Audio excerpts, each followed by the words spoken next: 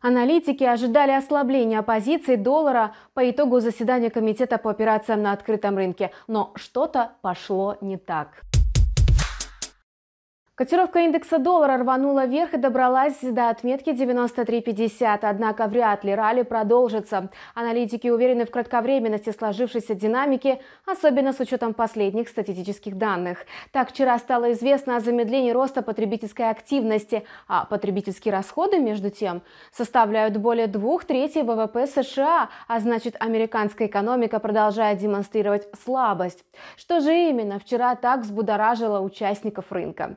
Дело в том, что в составе членов Комитета по операциям на открытом рынке ФРС отмечены разногласия в определении дальнейшего курса монетарной политики. Не все поддерживают стратегию удержания ставок на текущем уровне до признаков полной занятости и уверенной инфляции, уровень который будет обеспечивать стабильный двухпроцентный рост цен. Так, рынок обратил внимание на комментарии главы Федерального резервного банка Атланты Роберта Каплана, который высказывается за более гибкий подход к вопросу определения определения размера процентной ставки. И, как мы видим на графиках, именно господин Каплан обеспечил подъем доллара США. Но вновь напомним, что лишь один член Комитета по операциям на открытом рынке ну никак не может развернуть тренд. Так, к примеру, в паре с японской иеной доллару все равно не удалось отыграться. Прежде всего потому, как фондовый рынок США, в отличие от доллара, ушел в красную зону. А это явный сигнал к росту иены.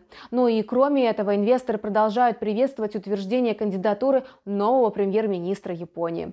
Так котировка идет уверенно вниз, нацеливаясь на обозначенный нами в прошлых выпусках уровень 103.75.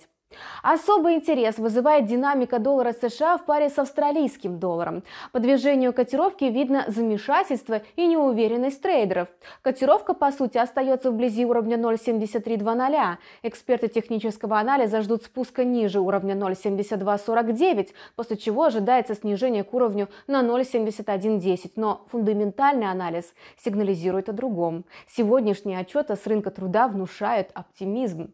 Так, согласно представленным данным, данным, уровень безработицы в Австралии неожиданно сократился с 7,5 до 6,8%, а число занятых увеличилось на 111 тысяч человек, хотя эксперты ожидали сокращения на 40 тысяч. Такая информация усиливает оптимизм инвесторов и сигнализирует о восстановлении экономики, что в свою очередь позволит Резервному банку Австралии пересмотреть политику низких ставок. На этом у нас пока все. Мы желаем вам профитных сделок и ждем вас на нашем канале с новыми видео уже через пару часов. До встречи!